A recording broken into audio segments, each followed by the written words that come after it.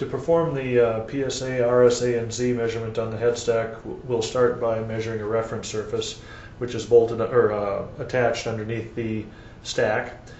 It's a gauge block, just a standard gauge block with a hole uh, in it that the uh, stack is mounted to. And uh, the stages have been set up such that the laser, uh, the upper laser, is bouncing off the surface to the receiving optics. And these are the spots that you see on the uh, screen at this point. This represents uh, pitch and roll, and this spot represents Z.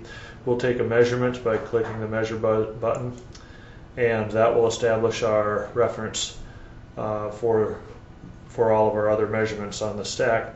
Um, and keep in mind that these are all manual stages, so it takes a moment to uh, make the uh, adjustments. But I'm going to turn the cameras to live so we can see what's happening as we uh, move to the first head.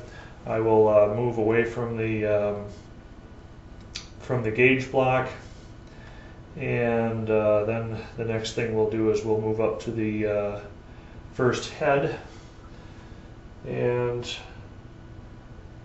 we'll dial that in until we see that come into uh, until we see that come into view.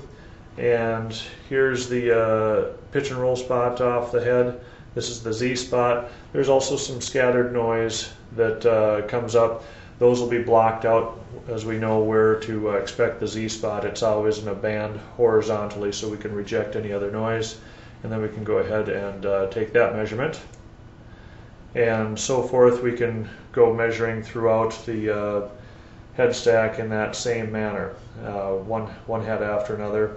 In this case, we were measuring an up-facing head. Similarly, we use the uh, opposing optics to measure the down-facing head, and we can go again off the reference surface to establish our zero points uh, from uh, that, that side of the probe as well.